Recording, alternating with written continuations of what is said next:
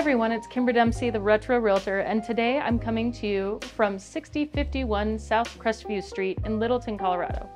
We're in the Broadmoor neighborhood that's right near downtown Littleton.